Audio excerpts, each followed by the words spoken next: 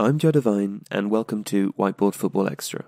Before we get started today, I'd like to let listeners know that our summer campaign begins tomorrow. Uh, for seven weeks, we'll be releasing videos on the history of the World Cup. Tomorrow, which is Tuesday, the 6th of June, our first video comes out, which is a tactical history of the period between the first ever World Cup in 1930 and the tournament in Brazil in 1950. Each week, we'll be releasing a tactical video covering a particular era, a, a brief history video in which episodes will be dedicated to the stories of specific tournaments, and a new segment called Classic Goal, um, which I'll, I'll let you infer yourselves. Podcasts during this time will also be related to the history of the tournament, so if you've got any questions, do let us know, and we'll do our best to answer them during the podcasts. Also, as I speak, uh, we are rapidly approaching 100,000 subscribers on our YouTube channel, which is um, frankly amazing. Uh, I'd like to take this opportunity to say thank you to, to our subscribers um, from everyone here at uMAXit Football. It's a really special feeling, and we're really appreciative. If you haven't subscribed, uh, you can help us out and you can help us get to that 100k figure. And also, you can listen to this podcast on iTunes and SoundCloud. Links are provided in the description. A final note, and sorry, this has been an extra long introduction. Um, please also head over to umaxit.com to check out our editorial site. We have four or five excellent articles going out every day. If you like our videos, you might like those articles too. Today I'm speaking to Seb, who is the sub editor of the site. Um, so please go and check that out. And also, please follow us on uh, Twitter at UMaxitFootball. Okay, that's all. Thanks very much.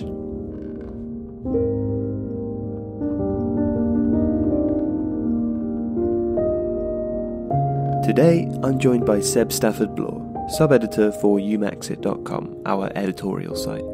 We're discussing cup finals, manager movements, and three at the back based criticisms.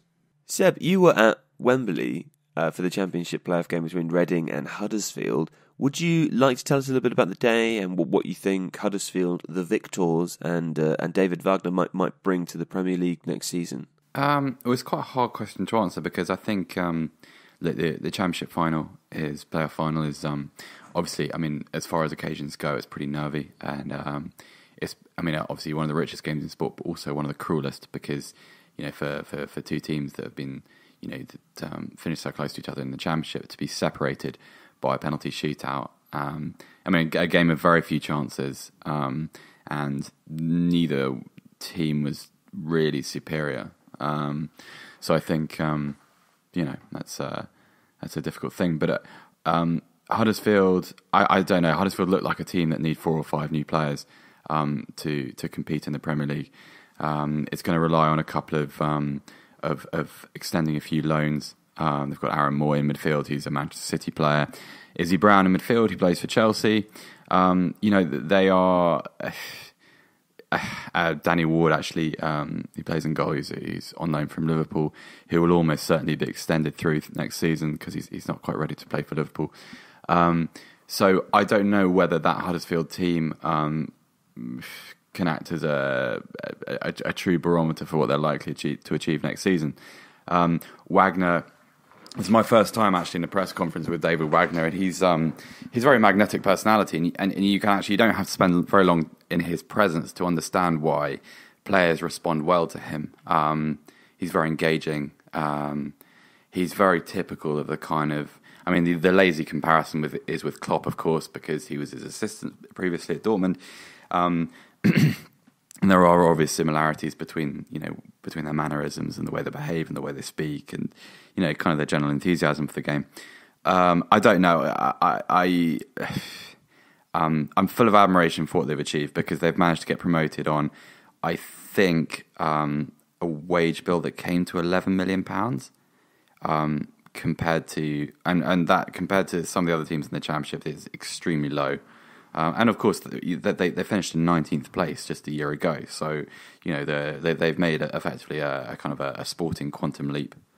Um, I don't. Um, yeah, I don't know. It, it, it, it, it's going to be extremely difficult for them to survive. But the caveat, of course, is that you know, with the broadcasting payment, um, you know, all things are really possible. It's not like the old days where Um, you know, teams were were terrified of of risking. Um, uh, of taking a financial risk in their first season, you know, sort of following the Burnley model of well, we'll, we'll, we'll do what we can with what we have, and if we come down, then we're not at any financial risk. Um, I don't know. I mean, the, the, size of the broadcasting contract makes a little bit of ambition possible. So I think it's a question to answer in maybe a month's time to, to see what they've been able to do. Um, you, would expect Aaron Mooy to return, of course, as we said. Uh, Izzy Brown, yeah, quite a good player. I mean, not. I don't. He didn't scream Premier League ready to me. I mean, like I, am happy to defer to people that watch him every season, uh, um, every week, but um, they look like a very good championship team rather than necessarily a team that belongs in the Premier League at the moment. Yeah, I think that that's an interesting point, and also it's it's good that you touch upon the loan signings there because um, Alex and I uh, created a, a, Huddersfield tactics video a few weeks back, and there was a point yeah. that we made in the video as well, which is, you know, one of the impressive things about uh, Wagner and, and this team is that he's managed to assemble it on quite uh, short notice, but yep. also as a result of that, a lot of the players uh, are on loan from other clubs, and it's difficult to you know know how long that can how how long that can last when some of those players are going to go back, how influential players like Mooy are, and if you know Wagner can bring in new loan signings next season, or as you say, maybe spend a little bit of that money from that broadcasting contract uh, when they get promoted uh, to, to, to maybe see if they can uh, re- replace some of those loan players. Uh, so it'd be an interesting project to to watch next season. Um, what, what, what, I will say about that, mate, is I, I think there's sort of one of the the the, the, the kind of, I'm a I'm a I'm a Wagner novice here, um, and I accept that. But uh, I think one of the, the, the, strengths he'll have going into next season is if if you are a, a top eight Premier League manager um, with a young player, I don't think you'd have any qualms about allowing one of your youngsters to go on loan and be coached by him. No. Like as opposed to if you were going to loan a player to, for instance, uh, West Brom and Tony Pulis, you think, yeah, no, I, I, I don't want to, I don't want to do that. I mean, you, you know. Um, but he is, I mean, technically um, a very astute coach, clearly, um, tactically very knowledgeable, and um, again has managed to achieve an awful lot with. I mean, I I, I, I do watch a little bit of Championship football, um, and if you were to look at that Huddersfield team uh, just on paper, you would say there is absolutely no chance you, you, you would win promotion with that group of players. Um, just because I was actually I, I, I spent a bit of um, a bit of time with um, Sam Ty actually after the game. We we went out for supper, and he was he was uh, baffled as to how Jonathan Hogg, former Villa player, was now in the Premier League. And actually, I mean, he's he's quite right, but in a way, that's that's that's emblematic of of what um, Wagner has done. And you know, he, he's he's taken an extremely ordinary group to uh, an extraordinary level. Mm. Uh, you were also at the the other big final, weren't you? Yeah, Blackpool Exeter. Yes, yes. Uh, how was that, Seb? Uh, very odd, actually, because um, uh, obviously, if you imagine Wembley is, is obviously a three tiered stadium, and Exeter had um, Exeter managed to sell out all of the their their allocation of the bottom tier, which is pretty impressive for a, a League Two team, uh, and some of the second tier. Blackpool, um, because of the issues which continue to exist between their supporters and uh, the Oyston family, um, were, held a, a, very public boycott of the final and so they managed to sell. I think they they sold something between five thousand and six thousand tickets, um, which at Wembley is only really enough to fill just under half of the bottom tier. Um, and also because Wembley is so big, five thousand people does not look like five thousand people. Um, it looks very small, and so you know I, uh, the, the supporters who came were um, very enthusiastic and you know they made all the right noises and the right sounds and you know they waved the banners and the flags at full time when when, when they won and, and, and terrific. But it was a very strange, strange spectacle. I was actually um, after the game I, I, was walking down i was walking across the concourse down to um, down to where they, they hold the press conferences in wembley. And um, i was able to take a photo of of uh, you know you know when they they, they erect that little um, sort of temporary podium on the pitch so that yes. the fans, so the players can celebrate the trophy. So I managed to take a picture of that, and, and all the um, all the Blackpool players are going mental, and in the foreground, the fans are loving it. But obviously, because of the perspective of it, um, there is just empty seats all the way behind them, yeah. which is a very strange thing to see. And um, it's quite actually, surreal. Yeah, very much so because I mean, I, I very fortunately with my own team, I've never been in this situation, but I just can't envisage envisage a scenario where my side got to a final and I felt it best not to go, Mm.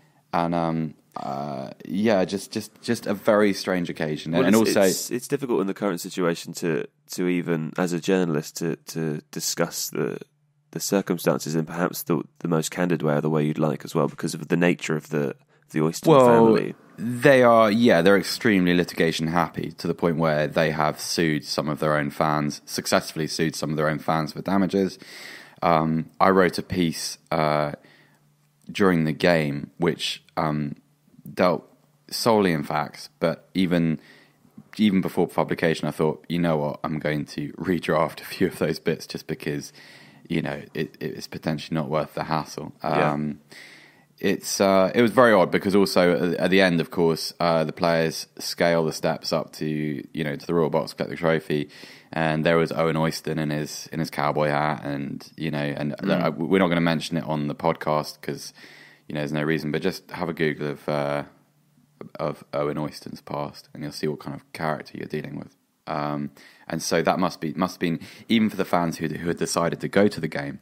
Um, and who've been able to put aside the way they've treated, and you know, bear in mind, like Blackpool, um, Bloomfield Road, which I think holds about seventeen and a half thousand fans, has averaged a gate of three and a half thousand this season, and so for Gary Bowyer to insulate his players from that and to you know, to finish where they did is is extremely impressive. But then even to the point where after you've won the game and you're watching your fans go up there, uh, you're watching players go up there and collect the trophy, you still have to stand there and, and, and watch, you know, the symbol of your decline cheering on and kind of, um, uh, you know, wading in on your, your own joy, which is uh, I, I just a very strange, uh, one of the strangest th- things I've ever seen at Wembley.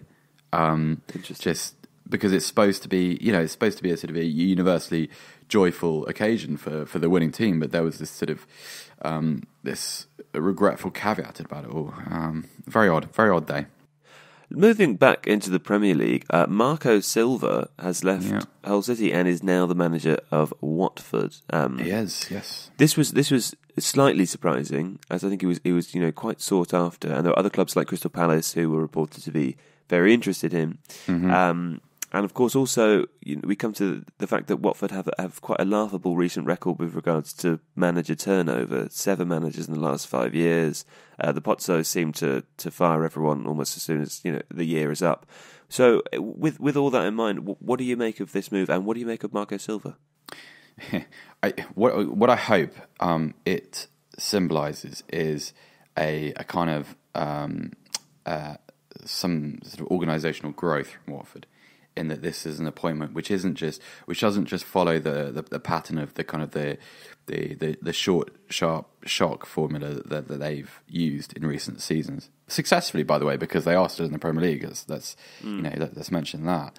Um, I think um, for Silva to have taken this job because I, I, I, don't pretend to be particularly clued up on what Marco Silva's career options were, but however, for him to take that job ahead of uh, apparently um, Porto, um, supposedly Southampton were interested, Palace too. Um, for him to to have agreed to it, I have to believe that he's given some assurances that this is a this is now a long term appointment rather than a, just a you know let's have a year out of you and then you're going because that look, I, I know there are reasons for Quique Sanchez Flores and Walter Mazzarri being dismissed. Um, you know, the league table, particularly in Mazzarri's case. Um, but uh, you just, as a manager, I don't see what you gain from from being at a club for a year. So Silva, um, I mean, I, I I suppose everything he did at, Ast- uh, at Hull is now asterisked by the relegation. But I think if you look at some of their home performances not necessarily the results, but some of their attacking play, uh, some of the way they, some of the ways in which they, they, they press high up the field, um, the the manner in which they took the ball out of defence, how their how their centre backs, instead of just being kind of, I mean, you know, for the first half of the season under Mike Phelan, they were just it was a, it was kind of backs against the wall. Um, under Silva, it became a lot more expansive, and you saw sort of um, the development as a result of players like Harry Maguire, who became a, a very capable centre half. Uh, Andy Robertson, a fullback, and sort of fullback slash wing back, became Um, already a good player. I think you know most people would, would accept that, but um, really did develop under Silva. But I think um, the the attacking unit as a whole plays some beautiful football. Um, I know he had a good transfer window and he was able to bring in Grosicki and uh, Niasse and uh, Lazar Markovic. Um, but I, I, I, think some of the combinations between those players, which were, remember, constructed um, very quickly um, uh, within a group of players who he had no prior experience of working with, I, I think it was very impressive. And then so it's all guesswork, of course, at this stage because it's it's not even June yet. But if you consider the kind of attacking players that Watford have, who haven't necessarily performed that well, but who are still under contract there, so you're kind of Isaac Success and Roberto Pereyra, um, both very good players. They have Adalberto Peñaranda out on loan, who is um, a little bit of a maddening player, but like fabulously talented to watch. I mean, if you haven't heard of him, I mean, he's one of those guys that you can you can be forgiven for just going onto YouTube to have a quick look at. Um, he's he's a lot of fun, and and if he came back to Vicarage Road, um, I dare say Silva could do something pretty exciting with him. Um, and also, the, the, uh, for all the criticism the Pozzo family receive, it's worth remembering that they have one of the most impressive scouting networks in European football. I mean, it's very broad, but it's also very deep in the sense that um, yes, they, they, they have been very good in the past at sort of extracting talent from South America. They were the first. They, they were responsible, for instance, for for bringing Alexis Sanchez out of Chile, um, uh, which was obviously very lucrative. Um, and they they are ambitious. They're ambitious and they are good at spotting talent. And you mix that in with a, a manager who's able to impart a message quickly and successfully, and is also able to to coach some um, some very attractive attacking football. And I, I, think it's a really good move, really exciting. If I was a Watford fan, I'd be very excited. I think. Yeah, absolutely. In, in fact, last week we had Nick Miller on the podcast. Yeah, and one of the things we were talking about Antonio Conte and Chelsea's managerial record, and uh, one of the things that's just reminded me of that is when you mentioned there that you know the, the Pozzo family have replaced uh, seven or six managers in, in, in five years, with Marco Silva being the seventh, but actually to great success as they're still in the Premier League. One of the yeah. things that Nick and I discussed the idea of is, you know, is a kind of uh, the inverse of that idea that managerial stability leads to long term success, when actually repeatedly we're, we're shown by teams like Watford, you know, and other and uh, other teams, often in you know in uh, trying to avoid relegation area, that instability in managerially can also work, you know, and that re- replacing perhaps you can't say that replacing the manager every year leads to to a, a you know a concrete long term solution, right? Right. But if your aim every year is to stay in the Premier League and you do that with a new manager every year, um, then you know how can you call that anything but a success? No, well, I, I agree. I mean, I, I what what I'll say a, a little addendum to that. Um, is that yeah, I you, you, you can't brand what Watford have done a failure, um, but I would say that it's not just Watford's success hasn't been based solely on just changing managers. I think there are a lot of different parts to that system. Um, their identification of the managers they've brought in has been pretty good. I know that Quique Sanchez Flores and Mazzarri they were both sacked, but they both did the job they needed to do, which was to work with a lot of international players, to work with a group who didn't have a lot of natural sort of togetherness. Um, so you know the identity is just as important as the actual principle of right. Well, we're going to change it, create this kind of constructed tension, and then use that to fuel um, a relegation fight. Mm. Um, I I think I mean it, it, this is just a preference rather than you know uh, some sort of personal theory, I think there has to be a point with both. Um, the, the Conte example is interesting because I think that. Um, I mean, I, I, think the Conte example is perhaps a little misleading because I think that he is he, uh, he's done tremendously well, and if, that Chelsea thoroughly deserve to be champions. However, I think the magnitude of his performance has been exaggerated by just how bad Jose Mourinho's was last season, mm-hmm. um, and um, also I think that that sort of change of manager scenario, um, it can only take you so far. So in, in, Chelsea's case, yes, you can bounce back to the Premier League with a squad of you know with with, with fairly decadent ability. Yeah. However, if you want to challenge in Europe, I think you need that continuity. I don't think the Chelsea team that, that sort of dominated the Premier League this season would have done anything in, in the Champions League, for instance, against teams like Juventus, who have you know they've obviously got a very familiar house style, but also you know they've been working under uh, Allegri now for for two years. It's there's a benefit to that. There's a sort of maturation that goes with it. For Watford, I think that um, if they ever want to be more than a team who just survive in the Premier League and who just congratulate themselves every season on not being relegated, which at the moment they're fully entitled to do. Don't get me wrong. They need to have a uh, I don't know, just a bit more of a, a stable direction. I think. I mean, I, I, I think that, um, yeah, yeah, I, I don't know. I, don't know if that's true. I don't know if that is my um, sort of, if that is a kind of a normality bias working. Um, but I, I, don't know. There's just a sense. I don't, I don't believe that. Um, yeah, and also, to be honest, if you ever want to become the kind of club who can attract a manager of the, you know, the the, the highest ability, you cannot really have a reputation unless you're kind of Real Madrid for just sacking someone every year because there are other factors at work here. Yes, you you can you can pay a coach all they want, but ultimately also if you're trying to attract a manager at the top of the, the European game, you're also having to worry about the conditions into which he brings, for instance, his family, his children, you know, schooling and housing. If you're just a club that's going to offers nothing really more than 12 months, it's going to be pretty difficult to, um, you know, to attract someone, um, someone, someone to North London on that basis. Mm. Well, well, let's talk about someone now who is uh, uh, no longer being attracted to North London. Yeah. Sam Allardyce. I actually, mm-hmm. Don't know if he's going to continue to live in London or not. It was a it was a failed link uh, to discuss his resignation from Crystal Palace, um, and also Allardyce claims to be uninterested in, in, in further work in management. So yeah. he's he's an interesting character. I've I've always been sort of you know distantly uh, distantly fond of, of Sam Allardyce, not necessarily as a manager, but but more as as you know a character to observe as part of the world of football. I find him quite interesting and, and quite amusing. Um, uh, you wrote an article an article recently for for umaxit.com uh, about yeah. about him, and you describe you describe him as a manager who operates within extremely narrow parameters. He favours a very particular style of play, trusts only a certain type of player, and probably as a consequence only specialises in one area of management, which I, I think we can all assume is relegation battle. Um, when well, Allardyce... relegation battle, but also, I mean, let, let, me let me broaden that a little bit. Yes, relegation battle, but I, I would say um, his specialty is is taking a team who are underperforming and returning them to par, not overperformance, but par. Okay. Um, He's the, the he's the mean rescinder.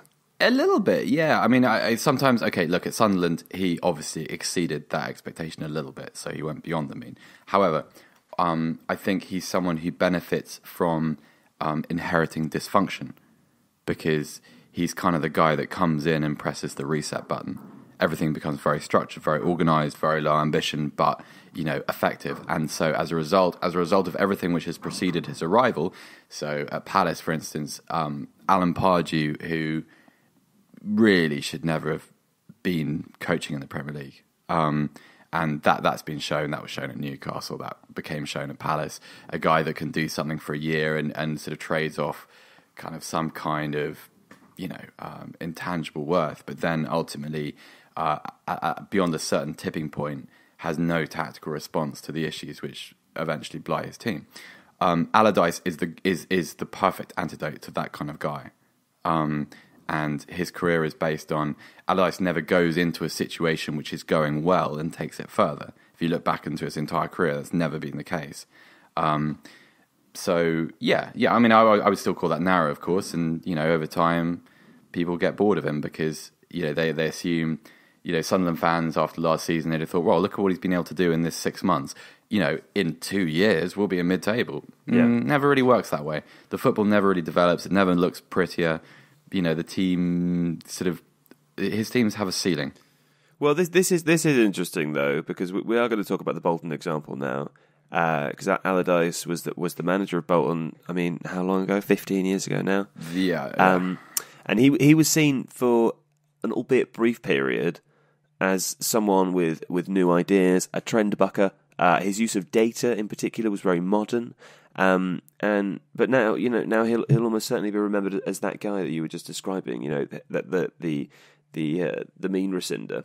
Um, so is is that? But Joe, part do, you, do you not think? I mean, I yeah, I, but is that is that in any way unfair? I mean, No, you know, it's 50 it's not. Uh, what what I'm getting at, um, you know, what I'm interested to hear from you is how that happens to someone. You know, how can okay. how can well, Sam Allardyce go from from being this um, this guy who's set, setting new trends in terms of how modern managers might work in the Premier League and doing very exciting, interesting things with the football team to you know regressing to this uh, this kind of same formulaic style of management year in year out and doing you know a good job and as you mentioned of what he's good at but never taking teams uh, further than that H- how does that happen Well, I mean, I firstly, I, I think that kind of the um, sort of the uh, the evangelism era of Allardyce's career has been slightly overplayed.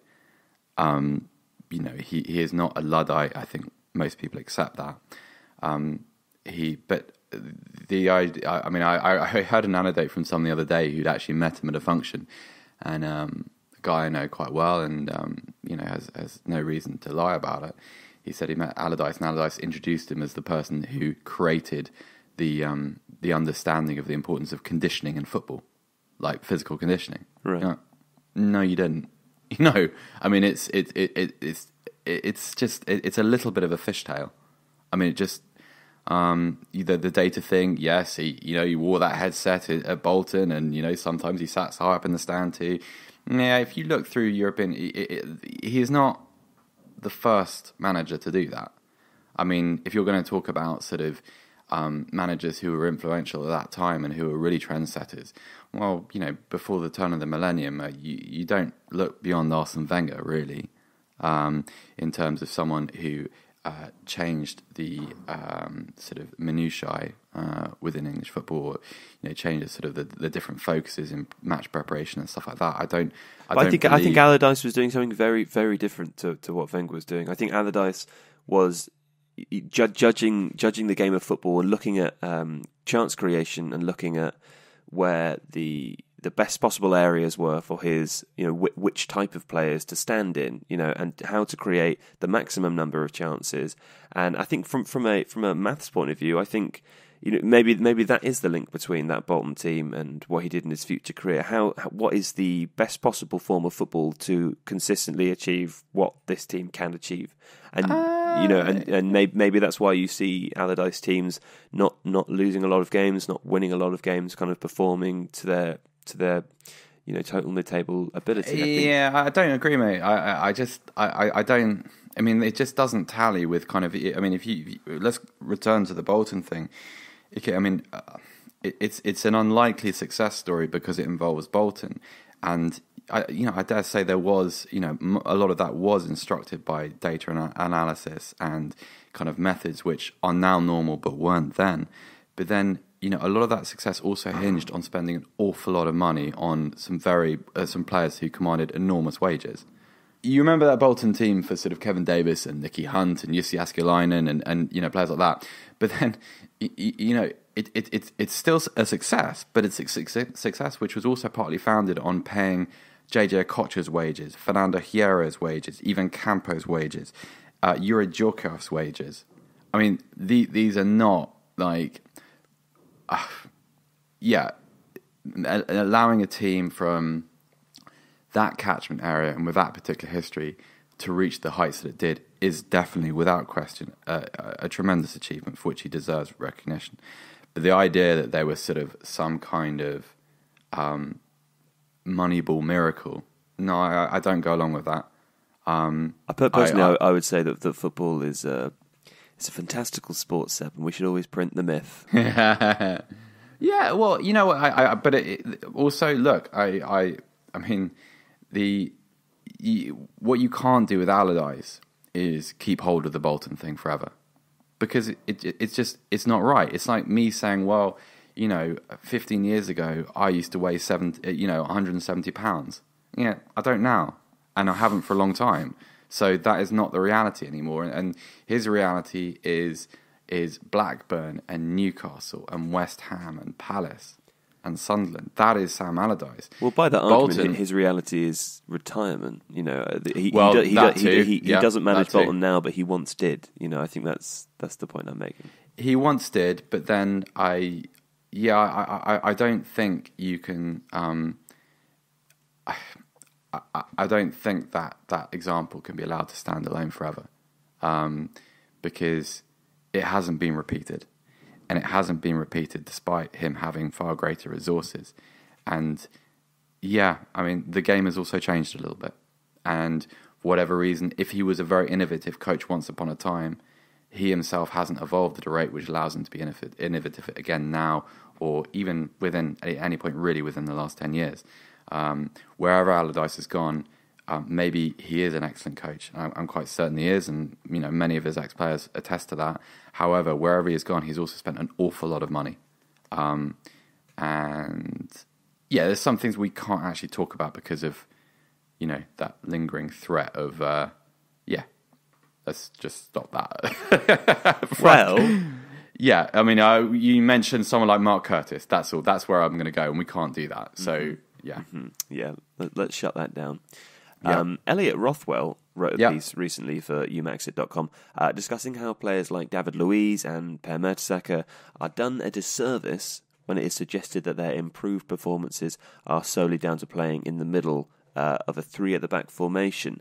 Yeah. E- Elliot compares this to defensive midfielders, saying um, defensive midfielders, when praised in a three man midfield, rarely have their good displays subsumed within a wider, uh, well, that's what a three man midfield does, thread of logic. So I wanted to ask you, Seb, this is you know, slightly different from what we've been talking about already, a little bit less broad, but what do you think about this? Is it is it not fair to suggest, for example, that, that David Luiz is better suited to, to being in a three at the back system, uh, which is something that we've actually discussed on, on this podcast this season? really hard question to answer because I, I kind of, I w- agree with both arguments really. Um, I, I, remember I remember subbing Elliot's piece and nodding along in agreement to a lot of that.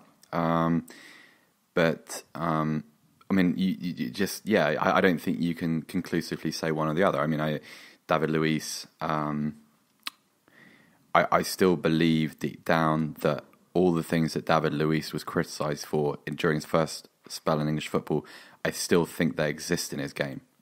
I still think they are there to be found, you know, in the right circumstances. And actually, to be honest, if you watch some of the games where in which Chelsea conceded goals again this season, without the kind of veneer of "oh, aren't they fa- fantastic and aren't they brilliant?" and Kante and Hazard and yay, brilliant champions elect. If you look at some of his performances, not that great. Um, but that being said, obviously, like the position that he's been played in, and the players. I think the most important thing is actually not necessarily the role he has within the Chelsea team, but the players he's now surrounded with. The things like um, the stability of that central midfield, I think, is um, eliminates his capacity to to kind of to break his team's own defensive line and pursue the ball. I think that's because you know he's able to. He, he- obviously, he doesn't feel compelled to do that. He's able to rely on players ahead of him and around him a little bit more. They are more stable. I think. I think the the sort of the way Chelsea have been constructed, not in a, a shape sense, but just in a personnel way, I think that suits his game a little bit more. Um, Yeah, I would I would agree, and, and also I think you know one of the um, one of the massive pros of David Luiz's game is his uh, distribution ability. You know, Yeah, he's, he's a very good passer of the ball. he's a Um, brilliant footballer. Yeah, no, he, he really is, and and I think that that's what's that's what's interesting about him playing in, in that you know position in the middle of the back three. Um, Elliot makes the point in his article that you know um, if we, we're talking about David Luiz making making mistakes and perhaps that being negated by two centre backs either side of him, that that can't really be true because David Luiz is often you know the last you know the last man furthest back, but also in that position you know is given the responsibility of distributing the ball when your two uh, fellow centre backs are being pressed. So you Yeah. know he he's he's ideal there really, and and I think I'm not really sure it's an insult or even a criticism to say that okay, in a more maybe a more common two at the back centre centre back partnership, um, you know, you are an average player. Not what's not David Luiz, for example, but you know, someone might be an average player uh, in a three at the back system in this particular role, which happens to suit all of your strengths. You're an excellent player, you know, and I don't think I don't think people are saying or perhaps people are, but I mean, I'm certainly not saying that any defender in the three at the back system is going to be better by the fact that there No. are more numbers around. That's just not true. Um, but perhaps I don't. I don't think it's unfair to say a player like David Luiz, and let's mention Per Mertesacker as well, because Elliot also mentions him in the article. I think it's also fair to say that someone like Per Mertesacker uh, might benefit from that sort of system simply because he's quite slow and he's uh, quite old. And I think if you're in a position where, again, Well, if you're if you're if you're the central player in a back three and you're old and slow, sorry, Per Mertesacker, um, if the responsibility uh, falls on the two centre backs outside you um, to cover the larger amount of ground, particularly potentially against quick players in wide areas, yeah. Without question that suits you. And, and all, all, all, Mertesacker has to do, and not all, it's obviously still a very difficult role to play, but all he has to do is use his experience of the Yeah. game, which he has a lot of because he's very old and he's a very good defender, uh, to make sure that himself and his uh, partners are in the correct positions most of the time. I mean, yeah, that's, exactly that. that again, that's another example of how that particular role perfectly suits you know his strengths, and I don't think that's a criticism of those players, and I don't think that's uh, taking anything away from them. But I think you know also it's something that we should recognise. We talked about David Luiz uh, not too long ago in this vein because.